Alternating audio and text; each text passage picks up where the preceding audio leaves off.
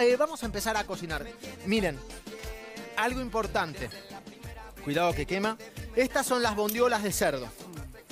Todo el tiempo las fui dando vuelta. Igual, ojo, que aunque haya qué, aunque haya un poquito de líquido, ya no hay, mira, solito se fue evaporando el líquido, el jugo de naranja, que era vino blanco, eh, tenía cuatro productos aparte, el romero, los dientes de ajo, ramitas de tomillo, eso es todo lo que tiene, ¿de acuerdo? Ahora, acá ya se acerca el final de nuestra preparación, las vamos a cuidar mucho porque ahora se va a ir evaporando el líquido, las vamos a cuidar un ratito para terminarlas a último momento, ¿de acuerdo? ¿Sí? Entonces, vamos a hacer lo siguiente. Eh, una cosa que les quería mostrar y hacer.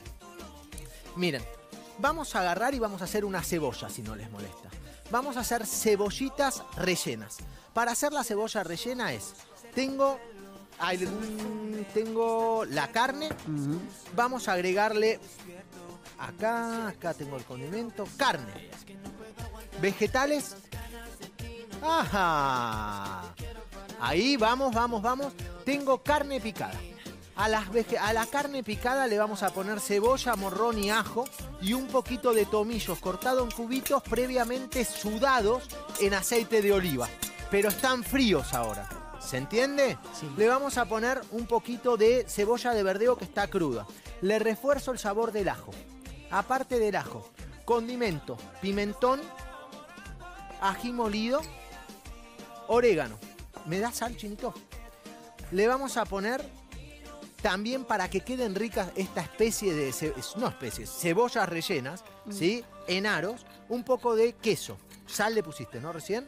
Eh, y si querés le pones cubitos, son cubitos de qué? La miga son cubitos de queso, puede ser mozzarella o tibo, ¿sí? Si quieren, algunos le pueden poner miga de pan, si queda liquidona, o miga de pan un poquito mojada en leche para darle humedad. ¿De acuerdo? Sí. Hoy vamos a hacerla así. Mezclo. No es que me voy, no le voy a hacer tumbling. Tumbling es cuando uno amasa esto y queda todo bien unido. Acordate que las hamburguesas, si le haces mucho tumbling, quedan muy firmes. Si te gusta esa hamburguesa que cuando la comes se desgrana un poco, no mezclarla mucho. Buen dato. No amasarla. Es la diferencia que hay. Depende de tu gusto. Si vos vas a una hamburguesería y ves que cuando vos mordés la hamburguesa se desarma fácilmente, no, está amasada. Bien. ¿Sí? A mí, por ejemplo, esas me gustan más que las que son muy firmes. Mira. Pero en gustos no hay nada escrito. Así que... Entonces, una vez que tenemos esto, vamos a hacer lo siguiente. Miren. Esta es la cebolla. Yo para hacer esta cebolla rellena, sí o sí, le tengo que volar los extremos, Mm. así y así. ¿Se ve? Esto las uso para picarlas, para hacer la cocina que hicimos hoy, cuando para cualquier producto que tengas. Y después sí, entonces de una cebolla aproximadamente saco Dos. dos rodajas. Y estas son las rodajas que empiezo a presionar para poner el contenedor de qué? Sería el contenedor de mis aritos de cebolla. ¿Se ven?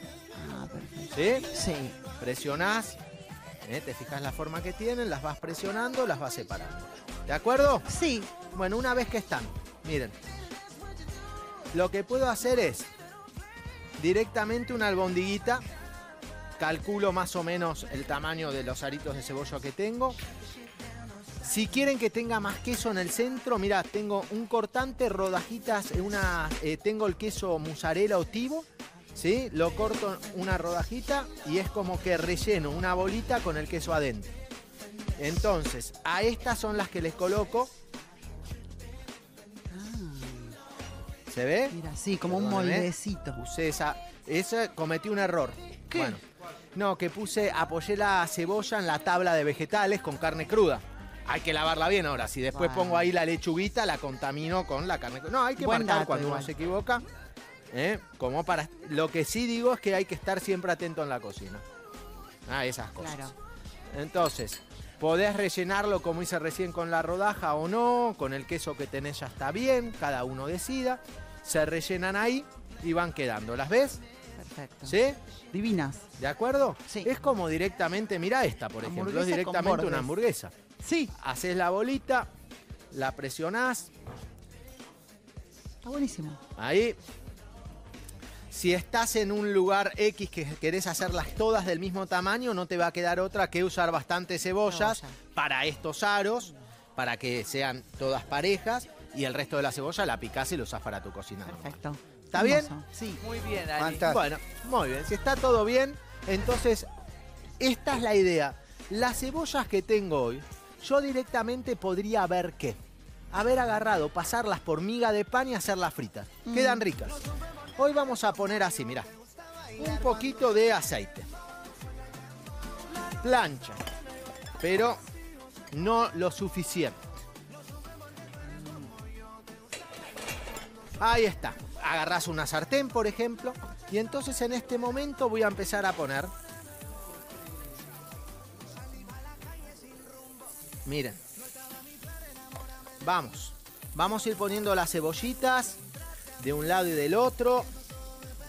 Ahí van. Perfecto. Perfecto, muy bien, chinito. Ahora voy a la bondiolita que quiero que queden espectaculares. ¿Les gusta? Miren las bondiolas. ¿Las están viendo ahí? Bueno, supongo que sí.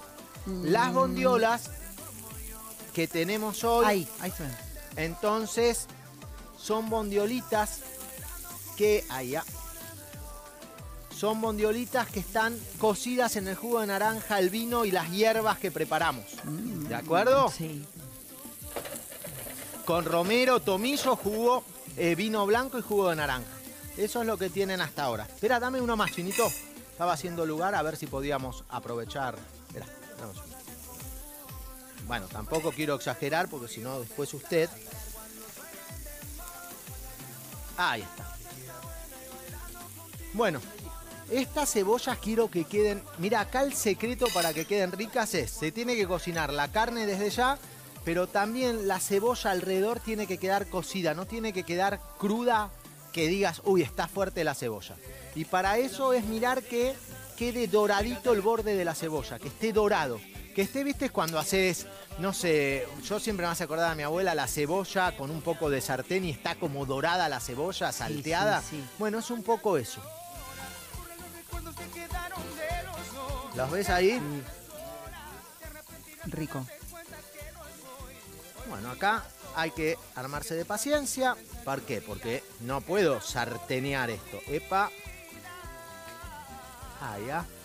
Malita. No importa, ahí está. Todo esto, acordate que lo voy a aprovechar todo para que quede perfecto. Las cebollitas doradas de un lado y del otro.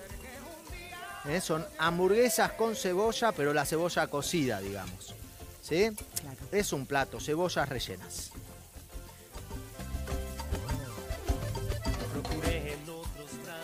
¡Ay, ya! ¡Quemó! Quemó el. ¿Va bien? ¿Les gustan? Mucho. Bueno, Buenísimo. Mire una cosa.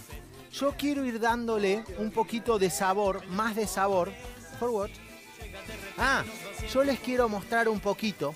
Dos cosas les quiero mostrar. Recipiente para donde cocino la, la bondiola. Bueno, miren, nos concentremos, concentrémonos un segundo. ¿Viste las cebollas? Las cebollas las estoy dorando y después las termino de cocinar en un segundito con mucho sabor. Quiero que sean súper sabrosas las cebollas. Por el otro lado lo que voy a hacer es tengo un recipiente, una sartén. Es para las cebollas un adicional que no tenés por qué hacerlo. Yo le pongo miga de pan, ajo y perejil. ¿Lo ves ahí? Sin aceite, sin nada. Lo único que quiero que sobre el fuego bajo cocinemos la miga de pan con el ajo y el perejil para que se tueste. Quiero que quede gratinado como si le hubiera puesto a las cebollas arriba la miga de pan y hubieran ido a parar al horno. Pero como no van a ir al horno, lo estoy truchando. Quiero que el crocante esté hecho aparte. Después bien. se lo pongo arriba y no hay ningún problema. Buen dato. ¿Se entiende? Sí. Muy bien. Mirá las bondiolas, tengo un problema. Las bondiolas, en este momento, las puedo sacar, me las como y a otra cosa mariposa.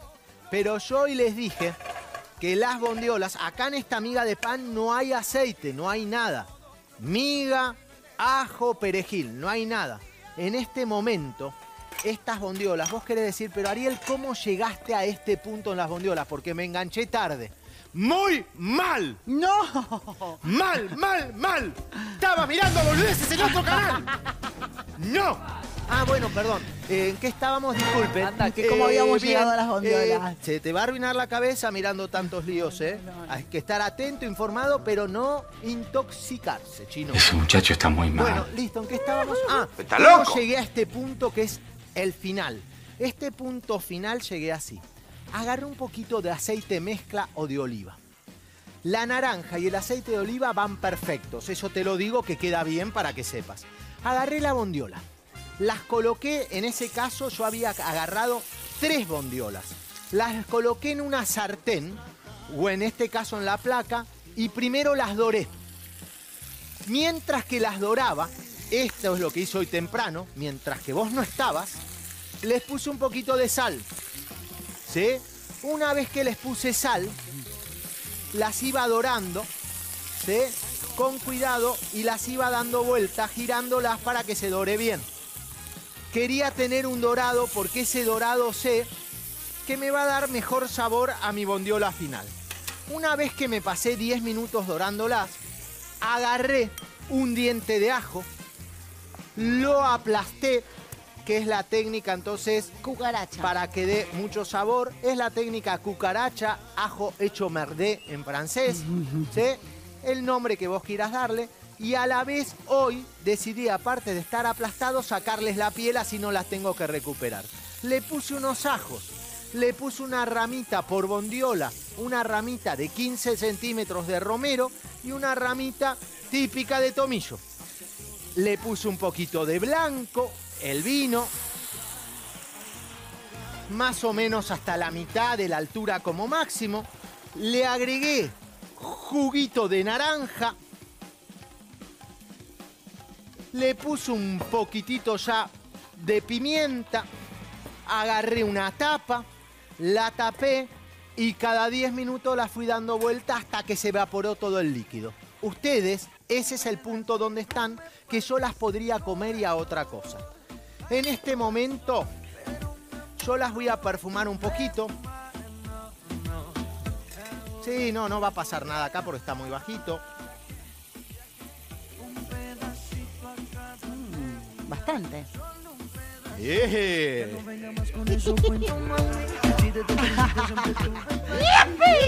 Eso no lo haga en su casa.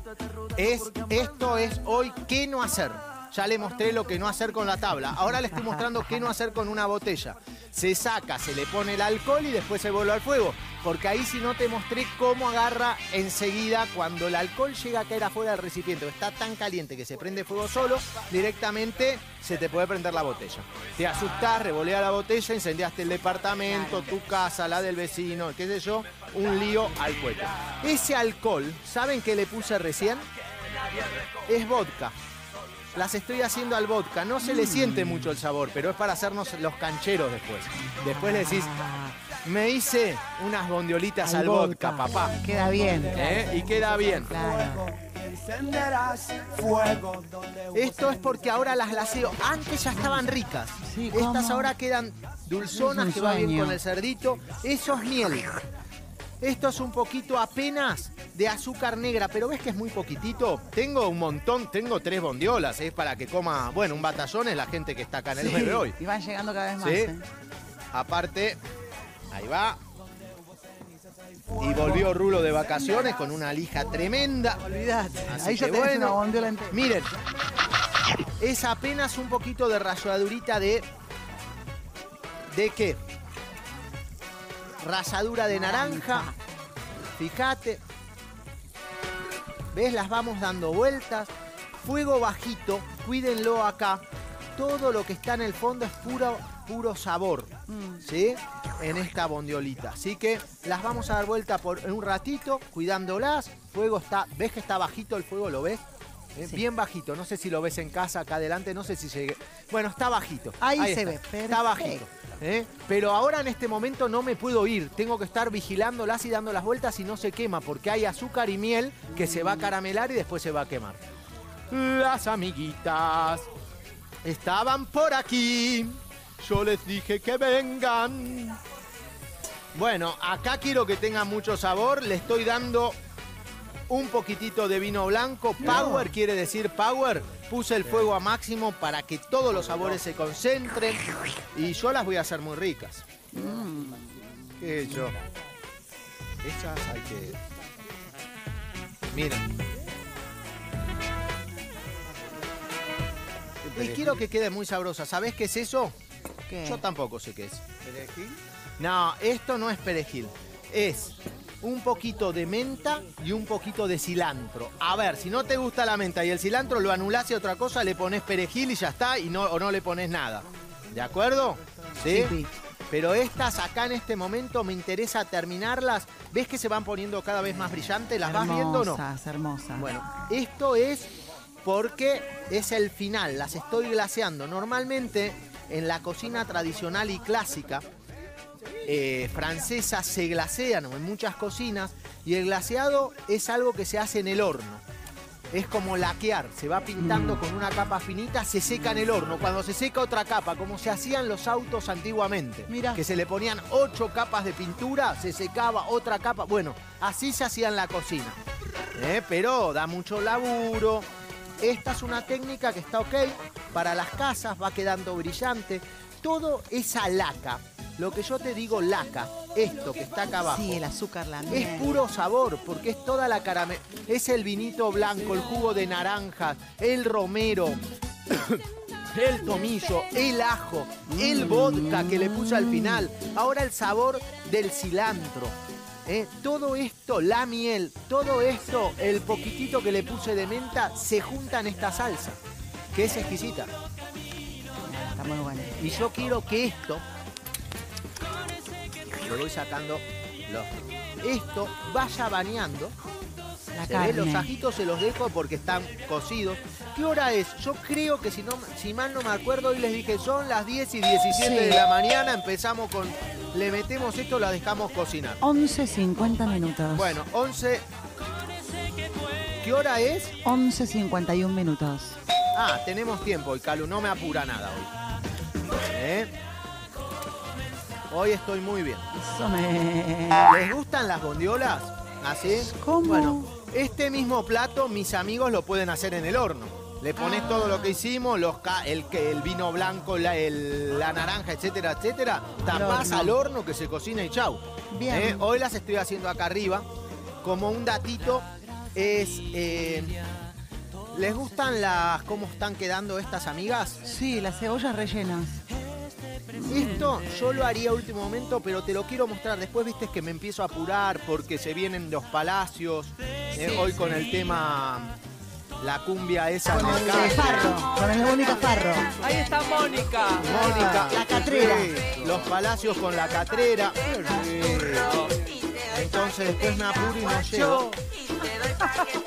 Ya está, esto es miga de pan dorada con ajo y perejil en la sartén sin aceite, sin nada, para que queden bien. Tenían el líquido, es el vinito blanco que les pusimos. Muy rico. ¿eh? Así que esas van a quedar muy buenas. Ahí está. ¿Te gustan estas naranjas? No, ¿qué naranjas? al principio hice, ya estoy mareado. Bueno, al principio, ¿qué le hice? Hice batatas, que las doré en sartenes o en el horno. Estas batatas así ya están ricas. Para el plato de hoy puedo hacer naranjas. Eh, naranjas, insisto que no. Batatas. Un almíbar. El almíbar, ¿saben ido, con qué lo hice? Con azúcar y agüita. Azúcar, 200 gramos. Qué rubia. 100 de, eh, 200 le puse, ¿no? Y 100 de agua. 200 de azúcar, 100 de agua. Lo llevé a ebullición, hirvió, lo saqué y esto es. Ahora le puse un polvo. No es mostaza. Esto no es cúrcuma. Ah, un polvo esto es. A ver. No. Es un caramelo de curry. Excelente. Simplemente un caramelo. ¿Me aprendés ahí, chinito? Caramelo de curry. ¿Quieren que le pongamos un saborcito más? Sí. Para que hoy digas, che, cocina sabrosa. No, ahora esto no es una naranja. Esto es el jengibre de Córdoba. ¿De qué lugar de Córdoba? Es Villa de la huerta también. Lugares de Córdoba, ya. Un beso a toda la Francia, eh, que está la familia ahí, que hace muchos años que no voy. ¿Es tuya? Claro, mi familia, mi abuela se llama Morresi. Nació no en la Francia, pero frente a Rollito. Vos doblabas a la, antes de llegar a Rollito, doblabas a la derecha y al fondo había una laguna que había un hotel de los alemanes, etcétera, etcétera, y hay muy buenos pejerreyes y todo eso. En el primer pueblo Y que cruzaba la vía, ahí doblás a la derecha, hay una vía que ahí se arreglaban los vagones del tren, etcétera, y después no quedó los vagones y se fueron todo, el pueblo quedó medio. Bueno, de ahí era mi abuela. Y todos los hermanos estaban ahí, en la Francia. ¿Está bien? ¿Le Bien. mentí bien? Perfecto. No, pero no es mentira. Le mando un beso a todos. Entonces agarro. Estas son las batatas. Sí. Las batatitas con el caramelo de curry. Y aparte ¿puedo tomar fernet? le pones, si querés, un poquitito de alguna hierbita, cebollita de verdeo. Esas las vamos a mezclar con una cuchara así, mirá, chino. Sí, puede ser. Un segundo y las vamos a apagar ella. Eh, para que sean ricas, ricas, ricas las batatas con el caramelo de curry, que quedan espectaculares. Ahí está. Y bueno, yo acá lo que no te voy a mostrar hoy, básicamente, que te lo mostré mil veces, es un arroz. Una idea es así. Agarro el arroz. Arroz blanco, arroz blanco que le puse unos rocotos. ¿Se acuerdan el ají de los amigos peruanos que hay en todos lados? ¿Eh? Pero los peruanos, y claro, el rocoto de los peruanos que los hacían ellos, los hacen rellenos, etcétera, etcétera. ¿Eh? Hay estos rocotos, son rocotos cordobeses. Ah, mira. ¿eh? Estos directamente son de El Nono, otra zona de Córdoba, El Nono. Los rocotos que me los manda un vecino del Nono. Mañana hay dulce de higos impresionante, ¿eh? los higos en esta época. ¿Se acuerdan que una vecina del talar me mandó los higos? Bueno, mañana los transformo en dulce como hizo ella. Hermoso. Dulces, ¿eh? Los higos del Luciano Filato. ¿Qué le pasa a usted? Los higos del Luciano Filato. ¿Le gustan los higos? ¿Tiene un chiste sobre los higos? No, no tengo Ah, No, basta, basta, no tengo chiste, no le digo.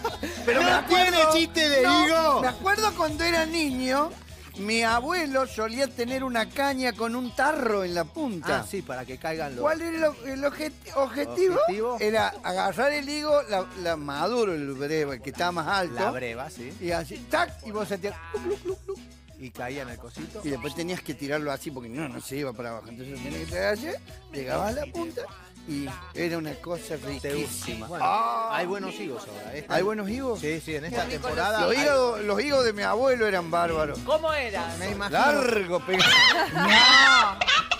Llegaban a la rodilla. No.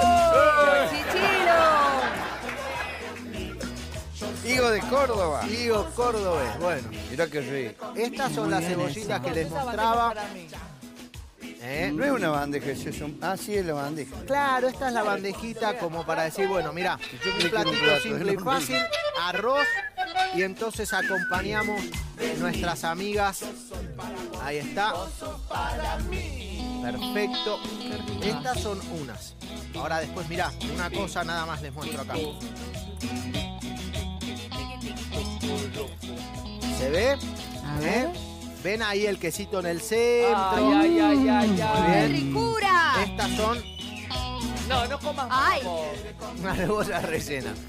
Y esta sería la idea de la bondiolita. Dale. Cortala toda. Hola, Divina. No, no, no, no, no. Quiero otro. Déjenla 10 minutitos. ¿eh? Bondiolitas. ¿Se ve? A ver cómo es Hay que degustar. Una bondiola enorme. Déjala un segundo. Porque enseguida se termina de cocinar y queda jugosa. Si yo la bondiola la cocino 6 horas, termina siendo seca. Ok. Así que, tranqui. Hermoso. ¿Termina qué? Mira, plato de campo. Estas son las Batatitas. batatas. Qué rica la patatita. Alias naranjas. Se preparan ya los palacios. Están con todo, Se vamos. viene todo. con todo. Estas tienen, largan el olorcito al curry. Perfecto. Y Ensayamos toda la mañana con Chilo. sí, lo veo que Chichilo se mueve como una meba. Eh, No. Como una ameba. Una piba. No, es porque. eh, no, no, no piense. Es un poco Venga, espástico. La verdad que anda muy bien, Chichilo. ¿eh? Ahí. Muy bien. Entonces sí. Mirá. Vino un chino de más clase. ¿Por qué esa costumbre de los cocineros poner todo encima? Ah. Porque se ve más lindo acá, mirá.